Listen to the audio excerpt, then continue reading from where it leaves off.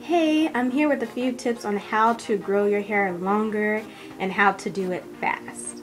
Um, last year I had decided I was going to grow my hair out. Um, it was probably up here and now it's down here and I did it in about six months. And how I was able to do this was I used a combination of different products but also I was taking supplements. And one is biotin.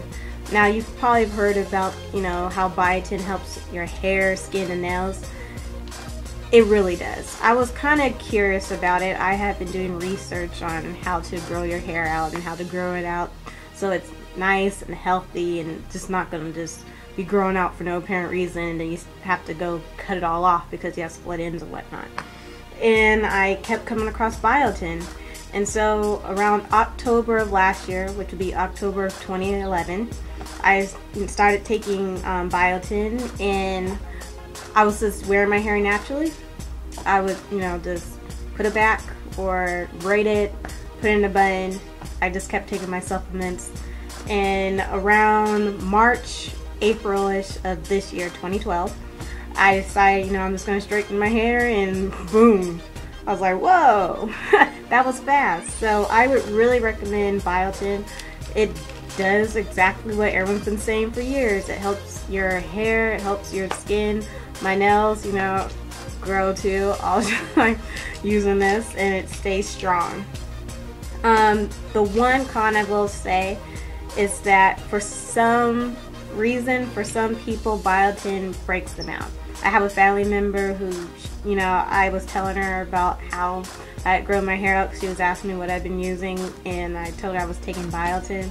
She took it, it broke her out. And, you know, we did a little more research on it and, you know, that's it actually it's normal for some people. Some people will just break out using biotin. And so it, they recommended using a smaller dosage. Um, so uh, one article we had read said before you start taking it, start small with the dosage of biotin, just to see if you break out, and then if you don't, you can you can kind of bump things up. But um, you know, she kept going lower, and lower, and lower, and it was still breaking her out. But um, I also take these. Women's one a day. And if you look on the back, it actually has biotin in it. And so, you know, I, I let her borrow a few and it didn't break her out. So Actually, I had started this using these when I first was taking biotin. I had it and I just wanted to make sure, you know, nothing funny style was going to happen to me or my skin. Nothing did. So then, because it only has, you know, this 10% of the daily value of biotin in it, I kind of wanted to bump things up. So I started taking, you know, a biotin supplement in addition to this. And um, usually I try to get Nature Made, but it's obviously a hot commodity because it's always out out of stock so I usually have to buy another brand.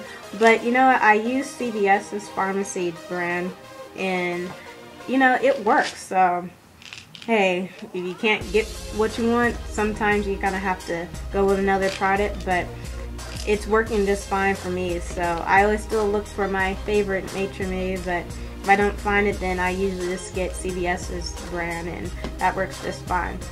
So um, that's just a few tips on how to grow your hair longer, faster, and stronger.